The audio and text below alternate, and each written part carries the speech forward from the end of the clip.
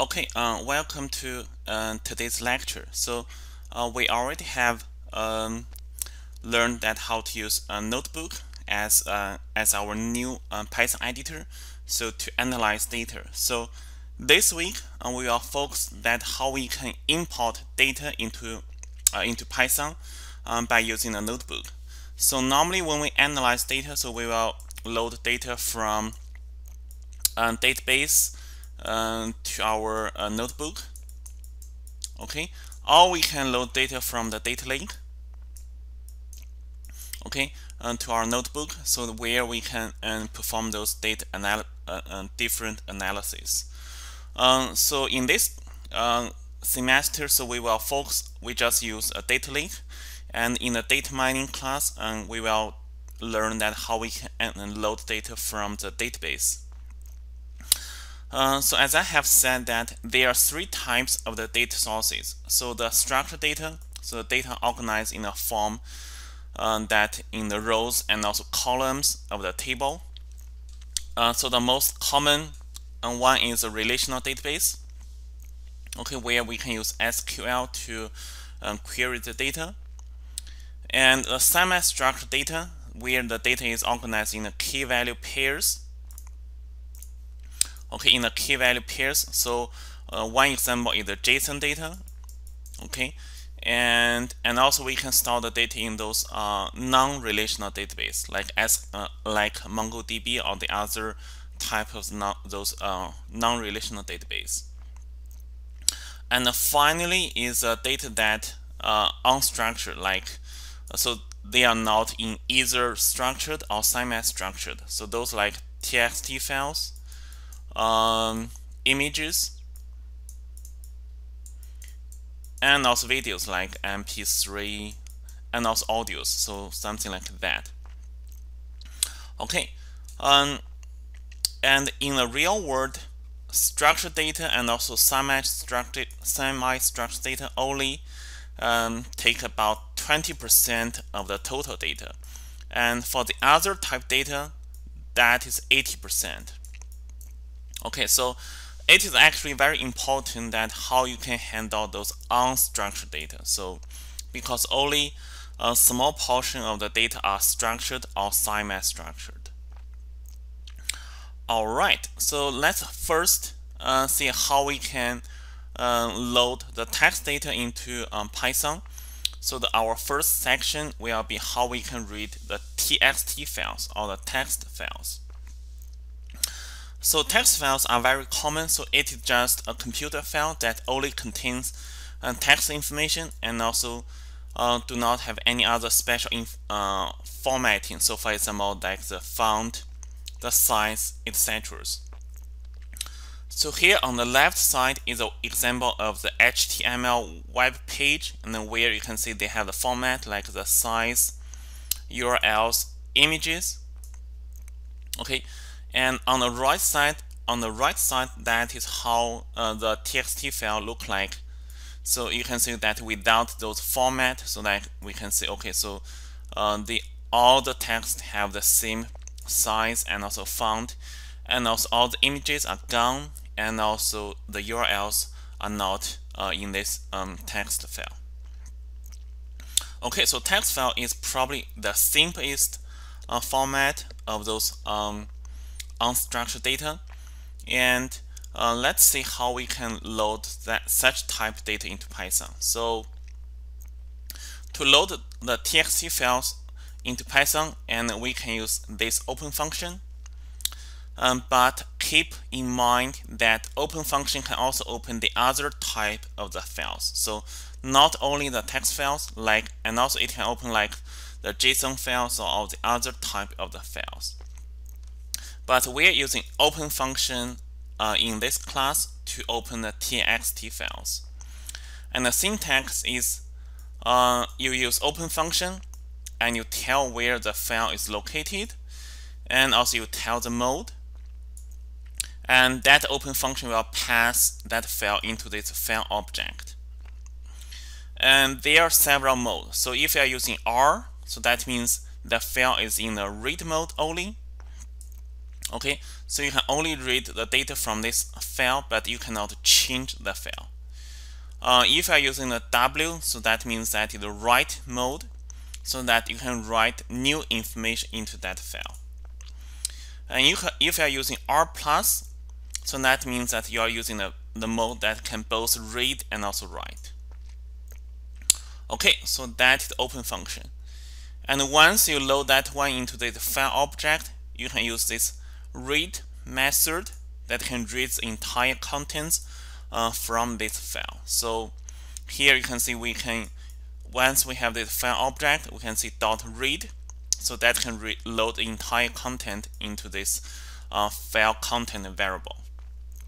Or you can give it any name that you like. Okay. Um, okay, and so that let's see one example in Python. So let's go to the SageMaker. And so this is the AWS service that hosts our uh, notebook instance. And let's open the instance. And right now you can see it has been stopped and that is correct because you don't want to waste your credits.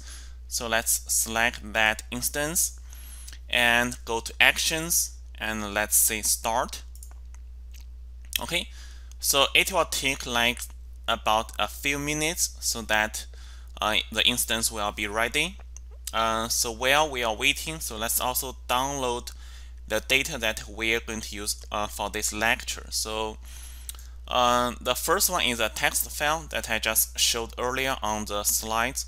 So the URL is posted on Canvas. So if you click that URL, you will see that this text file is on my GitHub repository. You can see it's very short and let's right click this raw and let's save this link as so that will download this uh, txt file into your local computer. So let's do that first. And meanwhile let's also download the next one that is the JSON file so that we will use that one later uh, during this semester uh, during this lecture uh, so you can see the JSON file is actually like a dictionary. So let's also click the raw, right click, and save link as. And let's save that one to our local uh, computer as well. Alright, and so now let's go back to the SageMaker. And it is still pending, so you can pause the video here until the SageMaker, uh, the, the notebook instance is ready. All right, and you can see that uh, our uh, SageMaker instance is ready. So as we did uh, in the Cloud9, so let's uh, first open the uh, Jupyter Lab.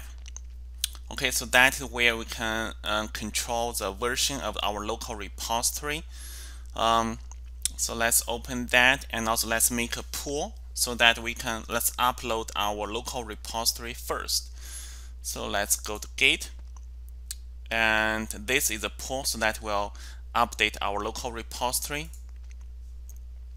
Okay, so that was a success. And now let's open our uh, notebook.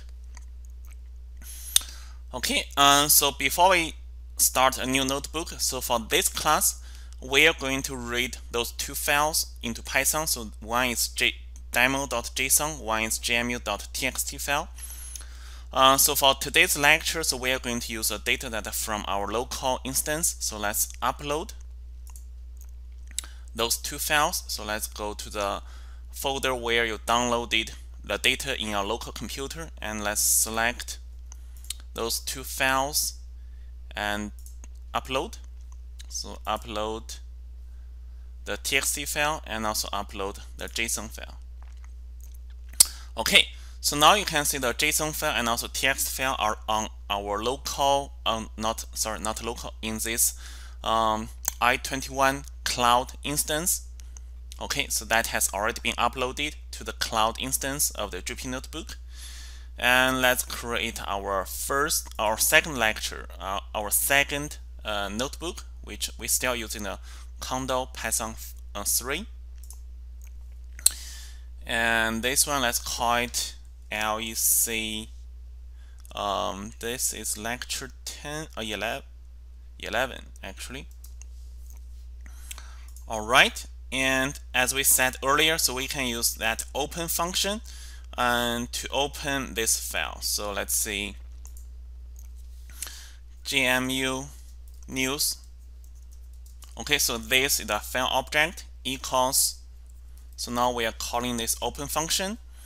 And we know that the file name is gmu underscore news.txt. So that is um, gmu underscore news.txt. Okay, so that's the file name. Because the the notebook and also the text file are in are, are in the same folder, so we don't need to tell the um, the other folders. So so we just need to call the name of the text file. And also we want to in the read mode. Okay, so read. And next, let's load the content. Uh, use this read method. So gmu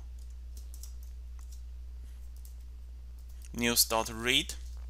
Okay, and let's print this news content. Okay, so now let's run it.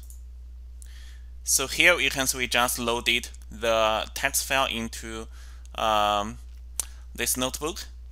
And because it is notebook, so you can still click those URLs. However, uh, if we are doing that one in Cloud9, you will not be able to click those URLs.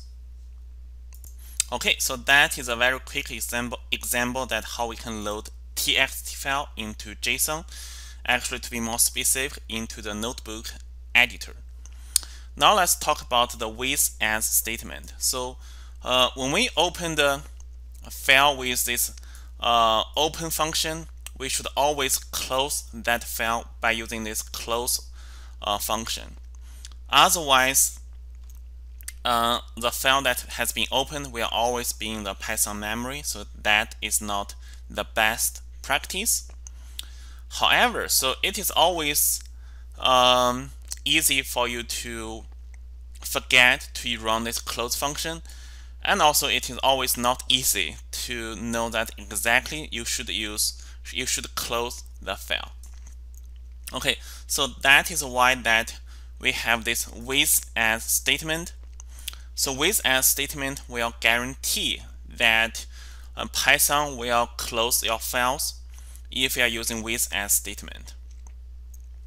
Okay, so the syntax is that with, and now we open a file as that project, and we have this colon. And within this, after that statement, and you have your indentation, and you can do something with that file object.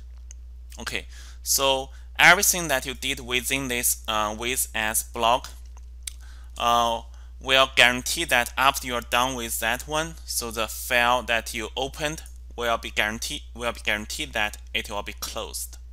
Okay, so that will make sure that we can save the memory, we can save the resource.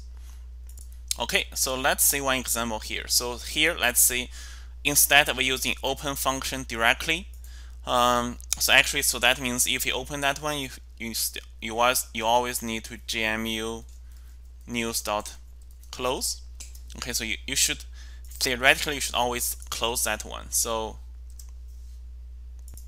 but the best practice is not use that close method, but instead we use we put the open function within this with as statement. We say with now we use this open and we tell the txt file dot txt pay attention that we still need this extension and we still need to tell the mode which is R as GMU news. So this is a file object. Okay so within this with a statement we can see print GMU news dot read. Okay so this is a file object and we are using this read method to get the content and this time we just print that content directly okay? And you can see after this with as statement the GMU news uh, file object will be deleted automatically. So now if we run it we have the same result as the previous one. However, the with as statement is a, the recommended way that to load to open any files in Python.